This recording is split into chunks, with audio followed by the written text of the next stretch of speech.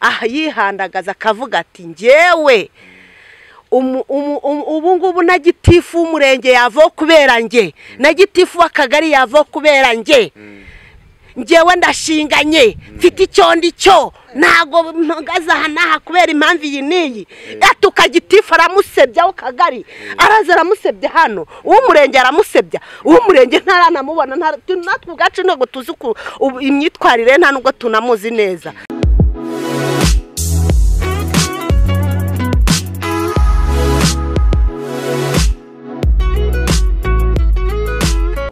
Neza? Murakomeye. Batangira bibwira abadukurikiye nitwa umurerwa vestina. Ntuye hano. Ntuye muri iyi midugudu. Eh, nanjye ndatujwe. Uyu mudugudu bawita ngo iki? Uyu mudugudu ni umudugudu w'icyitegererezo. Mm, Eh, ni umudugudu w'icyitegererezo. Mm, twaturutse mu midugudu itandukanye cyangwa se mu mirenge itandukanye n'ubuzima butandukanye. Mm. ni uko twagiye dutuzwa gutyo. Wowe waje gutuzwa muri uyu mudugudu w'icyitegererezo uturutse he? Naturutse kacyiru. Mm, Eh, wageze hano ryari? Ahageze mu kwezi kwa gatanu ku itariki icumi. Mm, bibiri n'icyenda. Mm. Eh, tugusanze hano ucuruza eh, bivuge ko wowe uhamaze igihe kirekire ubuzima waramenyereye. Ubuzima ndabumenyereye. Eh, bincuruza. Ntabwo ntabwo nabitangiye ndi hano. Ahubwo ubuzima n'ubuzima bwanjye bwa buri gihe bwakunze kumbeshaho. Kugira ngo bimvane mu bwigunge mu bwihere bw'ibibazo umuntu aba afite bigiye bitandukanye. Uvuga ngo mu mu- murenge wa kacyiru naturutsemo nacuruzaga ibitenge. Hanyuma nza kumenyeshwa ko ngiye gutuzwa hano. Ibitenge ndabyimukana ngenda na sosiyare baje kuza kumpa amafaranga ibihumbi ijana Eh, byerekeranye na viyupi na yo nari nakoze umushinga. Umushinga uza gusubizwa bampa ibihumbi ijana. Ndagenda mbiganiza na sosiyare wanjye kuko n'umuntu nishyikiragaho cyane. Mugisha inama dukana isano ngiye kujya buriya bizagenda bizagenda gute? Ati wowe wongera urangure udutenge twawe utujyane hanyuma uzakomeza ubuzima. Naragiye rero ndabirangura ndabizana mbega mbira mbitambika hano kuri bino bitureba hano ariko mbona nta bakiriya ndi kugenda mbona. Eh, kubera ubuzima bwanjye ubuzima busanzwe ndi umupfakazi ndi inshike itagira abana mbagiye nyine abana banjye bose barapfuye mu mbyaro zirindwi zose. Ariko ibyo na byo njya mbije imana ko hari ikimana buri bara yaransigarije kugira ngo Mm, ibyo byose mbicemo. Mm, ntabwo biba byoroshye. Dusubiye gato inyuma uti nimutse mva kacyiru eh, wimukiye mu mudugudu mushya baguha inzu. Mm, eh, hari abantu babwira kwimuka ntibabyumve. Eh, ariko Mm, buriya kutabyumva kenshi na- hari n'abantu na- n'abantu turi kumwe hano nabo bari bari mu bazimu bazatuzwa hano iyo nagira nkabibaganiza ntabwo babyumvaga bavuga ngo bagiye kutujugunya ngo ubuzima ngo tuzabushobora ndavuga nti nta hantu utafonda ubuzima ngo butungane bugende neza. Ikintu cyose ni ni ni ni ugutekereza ni mu mutwe. Ubuzima ni ahantu hose byashoboka ko ubuzima wa- wabuhakorera kandi bukagenda neza. Ariko nyuma baza kuza ku nibo banaje imbere yanjye nyuma baza kumpamagara baraha bahakunze cyane avuga ati ni heza nta kibazo hateye. Nuko ndavuga nti nose mbere ntumvaga se ko wahakunze umukecuru umwe tu- tu- twaturukanye kacyiru ni we wamuhamagaye ati hameze neza abantu baho banyakiriye. Ati nta kibazo. Mm, baguha inzu eh, baguhaye n'ibikoresho. Bampaye ibikoresho rwose ndashima imana n'ubundi buzima nari ndimo bwari kugira ngo nafashwaga n'abantu mu buryo bwo gukodesha ni ibihe bikoresho baguhaye? Bampaye matera ebyiri n'ibitanda byazo naje nsanga inzu yanjye irateguye intebe ameza amasafuriya ibikombe buri kimwe cyose amasahani amakanya nta kintu na kimwe batampaye. Mm, Eh, ibi byose rero mm, hari abo usanga bavuga bati nta gikoresho twahawe ntaki ubwo ni kwa ni kwa kugira umutima utanyurwa ariko ndahamya neza ko nta muntu wageze muri iyi nzu batamuhaye. N'uwo utarahawe ashobora kuba yaraje mu bundi buryo. Yahawe ashobora kuba yaraje mu bundi buryo kuko twimurwa n'imirenge yadutora- yadutoranyije. Abaturanyi bawe bose bafite ibikoresho? Ubwo udafite ibikoresho ni uyu nguyu ngira ngo kubera ko ku itariki cumi n'imwe inde inde uvuze utabifite. ni ni umudamu sinzi izina rye ni Eh, musabye mariya musabye musabye mariya jacqueline ntabwo nari namenye izina rye kuko ntabwo twari twamenyana cyane. Mm, ntabwo nkunze kubifata mu mutwe amazina kuko kenshi na kenshi hagiye ibiganiro biba bikeya ku muntu kugira ngo utinjira mu buzima bwe. Uyu musabye mariya aza muri uyu mudugudu waramumenye se? Nyine twamenyanye gutyo.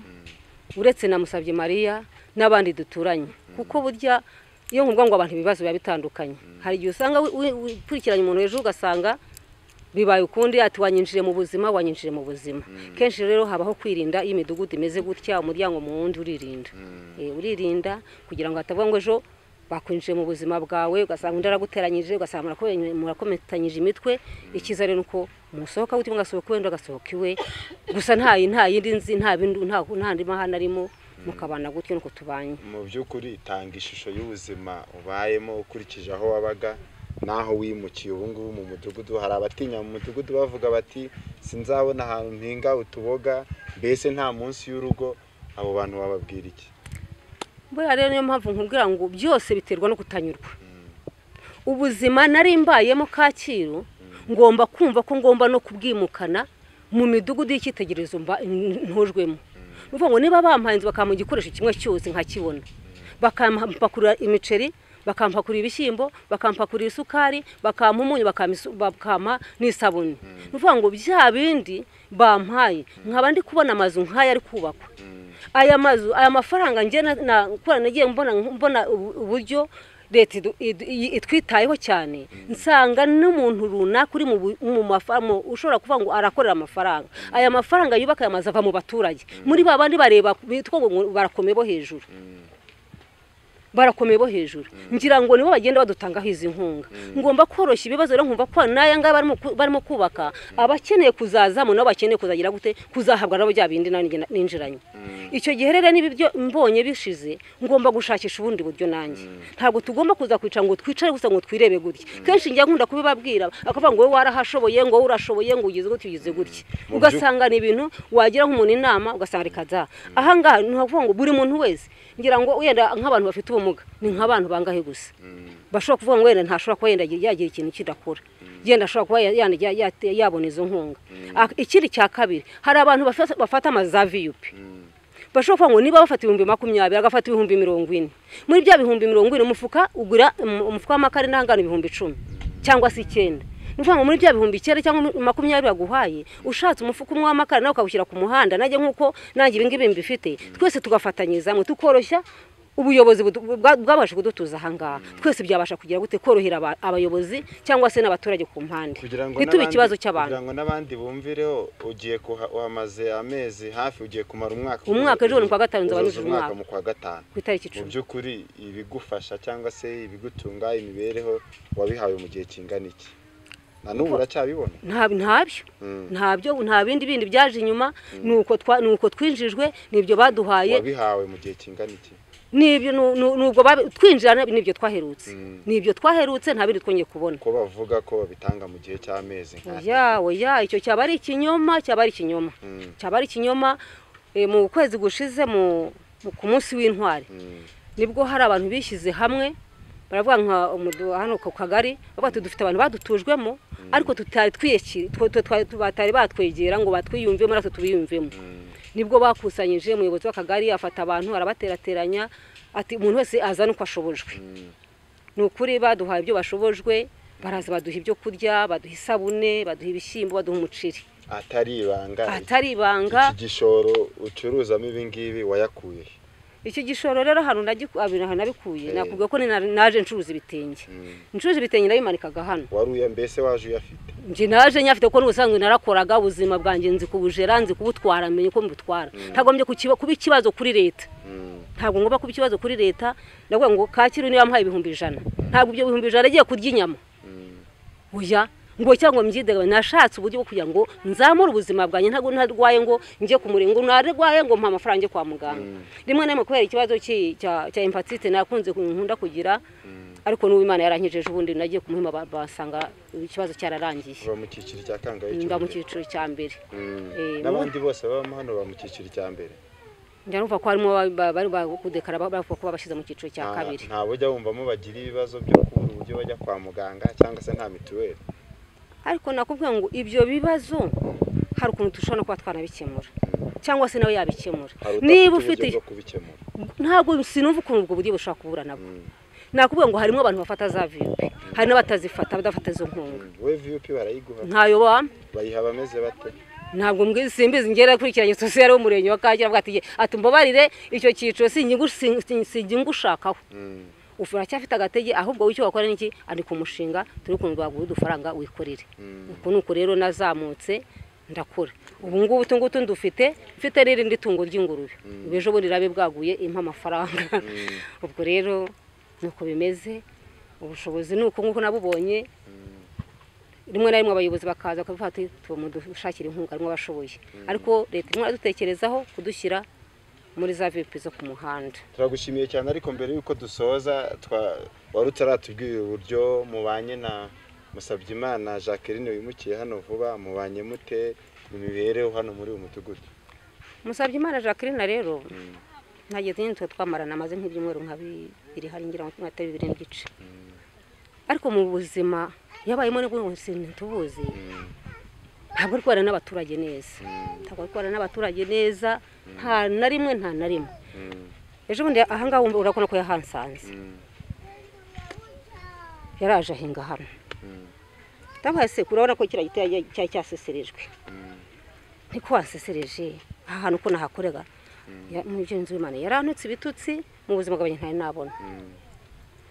noneho uyu muyobozi gitifu w'umurenge nibo bari baciye hano aramubwira ati mucuruzi ndamusuhuza ariko rero bimeze bite? Ntiyo ntibanze. Urebe ibyanjye hano ntangaha abana baraza bagahagarara hano. Mama ko nabonye afite amare ahane cyane. Abana bashobora kuza bagahagarara hano ugasanga bibaye ibindi nagira ngo mbikwereke mbibwira mu gitifu uyu nanone w'akagari hano. Nawe araza arabireba. Ubwo ngubwo biba induru atuka gitifu amagambo mabi ateye isoni arantuka yantutse iminsi ibiri. Yantutse iminsi ibiri. Ndajya muzi habe nuko ntamugize ntabwo nigeze muvugisha. Arantuka ibitutsi byandagaza ariko. Byandagaza bidakwiye umubyeyi. Ngo yarahari nabyivugire ngo kubanira abandi nabi. Murakoze. Ngewe ibyo ari kuvuga ahubwo ngewe mva mu kazi naraze nsanga yateye mu rugo iwanjye yabatse ibasi yayiyanishije iyi musami naryamagaho yawubatse ya kerete yayibatse ndamubaze se byagenze gute? Ngo leta bundi yanyu yagasyata ngo imeze gute itaguha ibikoresho? Nariturize sinigeze mvuga nabi cyangwa ngo ndakare. Bukeye hasize iminsi niko naze nsanga abayobozi ngo bazi hano ariko mu kuza uyu mumama ni we wagiye kundega ku gitifu ngo ngewe ngo nahinze ngo imbere ngo yaho ngo acururiza kandi noneho aha nahinze kuko nateganyije n'aho nabaga bituma mpinga akarima k'igikoni kugira ngo abana bazabone ukuntu babona izo mboga. Wari waje umusatira? Ntabwo naze musatiye nagerageza uburyo namuha umwanya wo gucuruzamo ngo nanjye mbone ku mpande aho nabaza gucururiza. Ubwo rero gitifu ko nagiye kumubaza kuko bari banumyeho ngo nitabe kwa gitifu gitifu yaje ambwira ngo jacqueline ugomba gutera agace kari hepfo ngo ahangaha ukahaherekera ahangaha nabwiye gitifu ese ngomba kuhamurekera gute ko abamo hariya hepfo? Nta kuntu namureka akajya acuruza ku mpande nanjye ngabona imboga z'abana. Cyakora gitifu yambere umuntu mwiza cyane abasha gutuza tworosa ibibazo ndetse nanasaba gitifu imbabazi y'uburakari nari narakaye nk'uko avuga byagenze ibyo mugenzi wawe avuga arakubeshya ibyo byo gutukana jye sinjya nukana ahubwo ubwo nanjye byaranunguye nze nkumva barandega kandi nta muntu ujya mbanira nabi. Guturuka hariya bose mababaza kuko jyewe ndi umuntu wifura ubana n'abantu neza. Mm. mugenzi wawe ati arambeshyera ni ukuri abantu bari buze umuhanda hano. Njye naramuhunze njya mu rugo.